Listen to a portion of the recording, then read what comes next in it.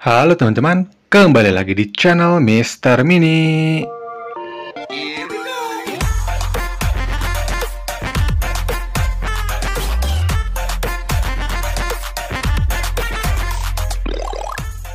Oke, di video kali ini seperti yang ada di judul, membuat farm XP otomatis. Tanda tanya. Lah, mengapa tanda tanya? Ya, karena di versi sekarang tidak ada farm XP otomatis ya. Ya, betul, kalian tidak salah dengar. Tidak ada farm XP otomatis. Lalu mengapa aku membuat video ini? Nah, karena di video ini aku akan menjelaskan mengapa tidak ada farm XP otomatis dan aku akan membuatnya menggunakan farm XP lain dengan cara manual. Tentu saja video ini tidak akan lama, so jika kalian ingin mengetahuinya, simak saja videonya. Sebelum ke videonya, bantu channel ini untuk berkembang dengan cara subscribe dulu channel ini supaya aktif terus upload terus channel ini. Langsung saja kita ke videonya. Oke teman-teman, jadi ini adalah gambaran farm XP otomatis yang tidak berguna ya di versi sekarang. Meskipun ada makhluk seperti Borman di sekitarnya nih, kita coba.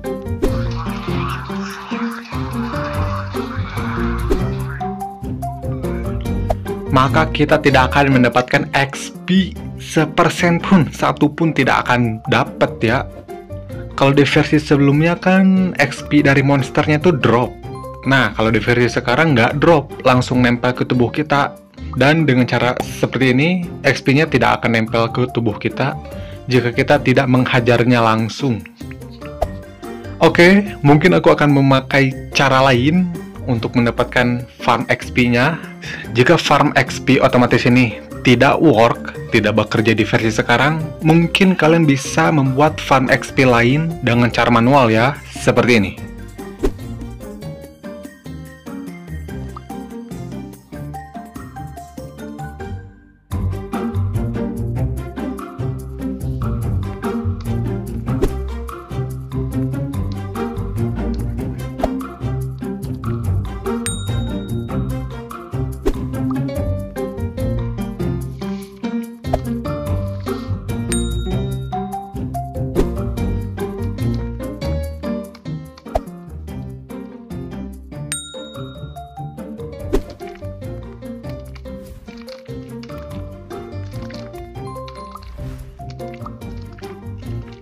Nah, kalian bisa membuat farm XP manual seperti ini. Tidak perlu aku jelaskan secara rinci karena pembuatannya juga simpel banget ya. Kalian bisa membuatnya pakai tangga apa pun dan kalian bisa membuatnya memakai balok apa pun. Dan jangan lupa kalian kasih tangga ya di sini untuk kalian keluar lah. Pagar juga bebas ya yang kalian punya. Dan jangan lupa villager di dalamnya untuk memancing sih, untuk memancing para monsternya. Nah, kalau sudah seperti ini, kita coba nih memakai Borman.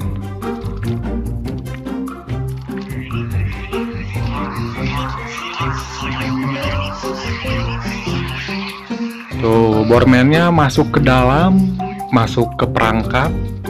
Nah, kalau sudah kayak gini ya kalian tinggal habisi aja satu persatu secara manual dan kalian akan mendapatkan XP-nya. Dan tenang saja, villager yang ada di bawah itu aman ya, karena terhalang oleh pagar tadi. Dan tentu saja, jika kalian di mode survival, di arah tangga ini, kalian tidak akan apa-apa ya.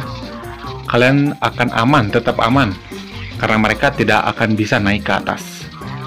Tidak hanya untuk bormen, kalian juga bisa memburu pemburu liar. Tuh, kalian juga bisa memperangkap pemburu liar ya dan villager yang ada di bawah masih aman tidak akan terkena tombak yang dilempar oleh goblin liar ini setelah kayak gini ya kalian tinggal bunuh aja dan dapatkan XP-nya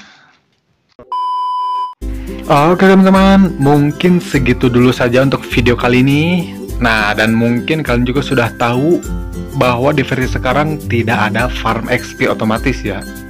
Dan mungkin kalian bisa memakai caraku yang seperti barusan yang ada di belakang tuh untuk menjadikan farm XP lain tetapi secara manual.